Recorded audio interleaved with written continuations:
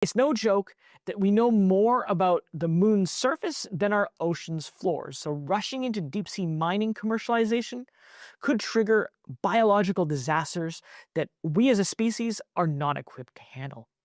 So, yes, it's natural that TMC has been facing a little pushback, and it'll need to prove it can mine responsibly before it can get off the ground or off the sea floor. The International Energy Agency, the IEA, estimates that global EV battery demand will grow to more than 3 terawatt hours in 2030, representing a massive 200 increase from last year's numbers.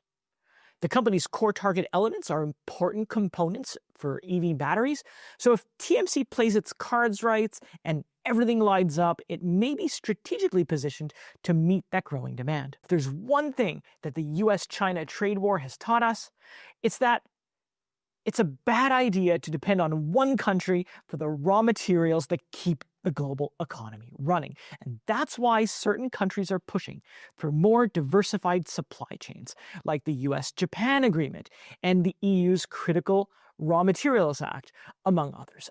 Again, with TMC offering a potential alternative to China's mineral dominance, it's no surprise that the company has drawn significant investor attention. What are your thoughts on the company? Are you buying into their vision?